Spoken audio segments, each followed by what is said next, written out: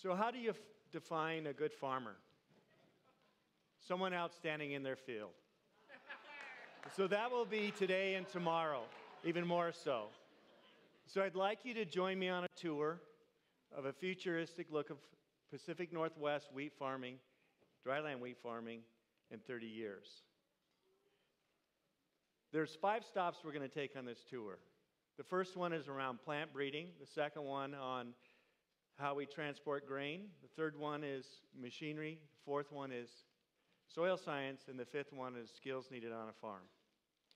Now, I've spent the last three years trying to understand the needs of the dryland wheat farmer in the Pacific Northwest.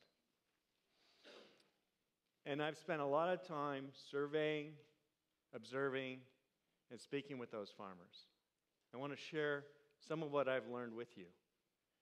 The first thing is, is when you ask one of those farmers a question, you need to be sure to speak in their right ear. Why is that? Well, how do you drive a tractor? Sit in the seat, square forward, both hands on the controls? No. You sit sideways, you drive with your left hand on the controls, and you look over your right shoulder at your implement.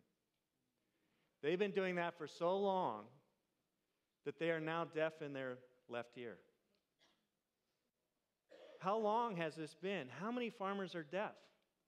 Well, my survey showed that the median age is 57. That over three quarters of the farmers in the Pacific Northwest, dryland wheat farmers, are over 50 years of age. Only 19% are under 30. There are only 6% between 30 and 50 years of age. Only 6% of the farmers are between 30 and 50 years of age. There is a lost generation. And how did this happen? A well intended program in the 1980s paid farmers to set aside crop ground back to the natural grasses.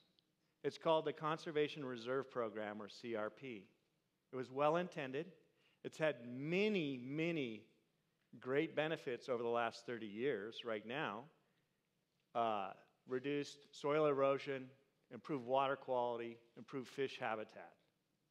It represents 1.1 million acres of crop ground removed out of the state of Washington over the last 30 years. The scale and size of that, we have 2.2 million acres of wheat produced in the state of Washington. In a good price year, that's over 900 million in export sales. 95% of the wheat in the Pacific Northwest is exported to Asia. So that's a big impact uh, the, in the area. Um, that impact uh, lost a generation. And right behind that, half the farm dealerships went out of business through the region. And followed on that were the farm supply stores, auto dealerships, fuel distributors, restaurants, hardware stores, grocery stores in the small rural communities closed. It was a big impact. And the impact also affected the big OEMs. They quit producing specific machinery needed for the region by the mid 90s. So, th- so this has been a huge impact on the area. And the last bit of information that I gleaned from these farmers was you had two choices. You either went big or you continued to use your machinery from the 70s, 80s, and 90s. So, going big, what does that mean? It meant buying or renting more land and spending money on those machines, the big productive machines. So, a combine in the 1980s cost $750,000. A combine in 2017 costs as much as three quarters of a million dollars. And that replaces four of those combines from the 1980s, that one machine. So this leads to why the Pacific Northwest wheat farmer is going to jump into the future faster than any, any other industry. And I'm going to take you on that journey now.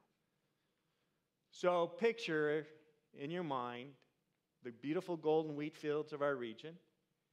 It's mid July, harvest is in full swing. It's 2050. On my farm, I sell directly to the Asian flour mills now. One of my large customers has just left the farm today to head back to Taiwan. He's been making this journey for 28 years, since 2022. And that was at a point in time when there was a baking research program that found that we had the right characteristic in our grain that gave the Asian flour, flour mills the characteristics they wanted for a premium cracker that they were baking. That happened because of work of the industrial plant breeders. They were able to tailor the seed to meet the needs of that baking characteristic. At the same time, they were able to breed for our microclimate of our farm that allowed us to, to be much like the wine industry. And we were able to trademark and certify our wheat, and we branded it the Great Columbia Plateau Wheat. Our brand, the Great Columbia Plateau Wheat, we were able to uh, be leaders in the farm to table movement at that time when we did that. And that was 30 years ago. Because remember, it's 2050. So we've been doing it for that long. We had Asian flour mills showing up weekly to our farm. Each one of them wanted to take home a piece of the Pacific Northwest. So they placed container load orders as they left. The timing couldn't have been better for a container load order because the 50s grain handling system was antiquated and needing of serious repair. In the past, in that system, each grain kernel was touched 10 times between the combine and the flour mill. Today, we load half ton bags in the combine, transfer 60 of them to a container on the edge of the field, and now the rest is history. We ship about 230 ton containers a year into Asia. Container market is cheaper and much more capacity. So that was one of the big changes that happened. At the same time, we were able to, um, along, you know, with the branding, the microclimate seed breeding program, the direct sales, the container load shipping gave us a 25% price premium for our crop. Those were all huge benefits to the system. In the same time period, in the mid 2020s, the farmers were really struggling with no till and ways to seed in a no till. A totally unexpected thing happened or solution was presented.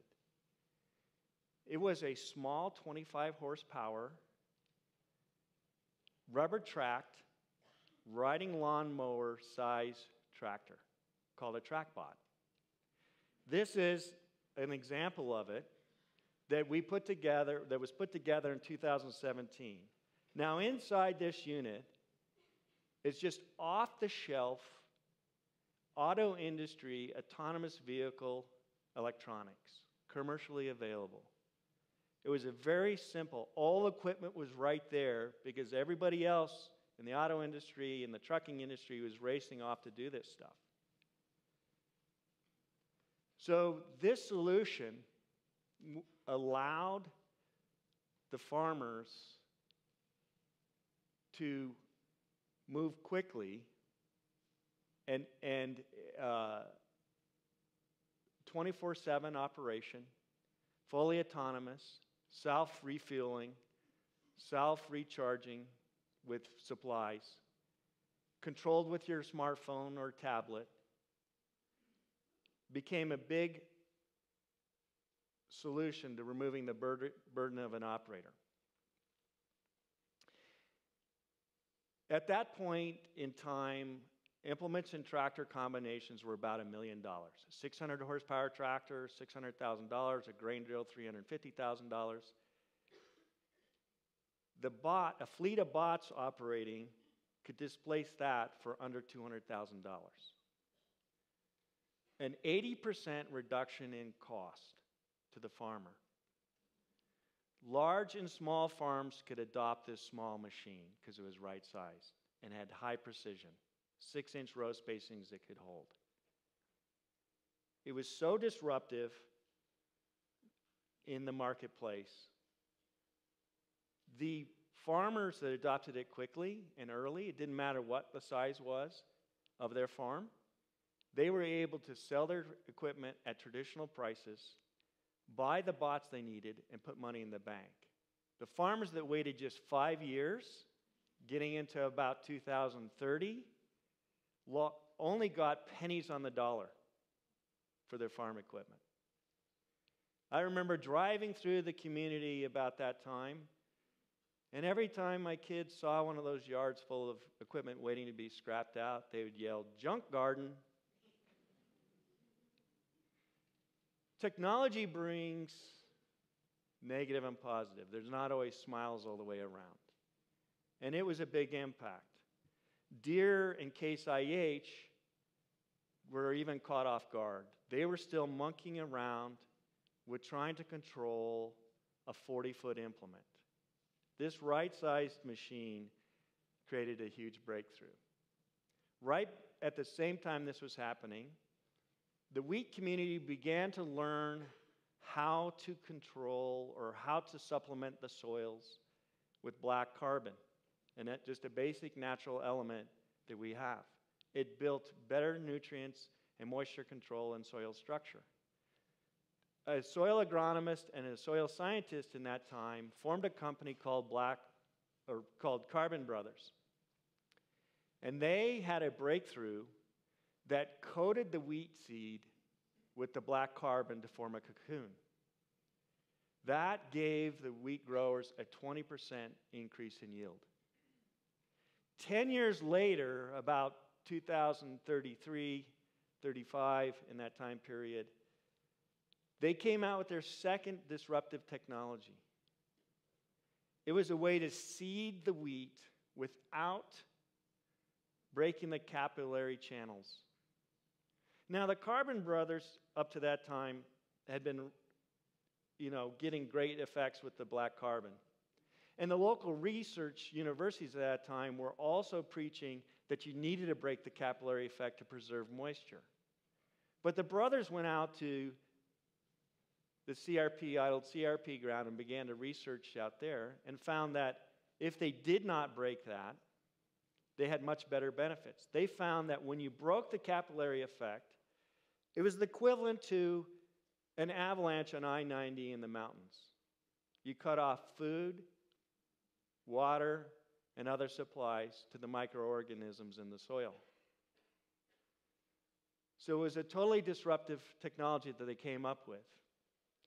It was a small, whirligig, biodegradable. You used it one time. They would fly them off and it would seed itself into the ground. Now, wheat, dryland wheat farming, you need at least a half a million seeds per acre. So they had a machine developed that would launch 100,000 of these machines a, minute, these gigs, whirly gigs. It was quite a sight to see that just flying across the field, swarms of these. But no longer were they tilling the ground. It just screw in.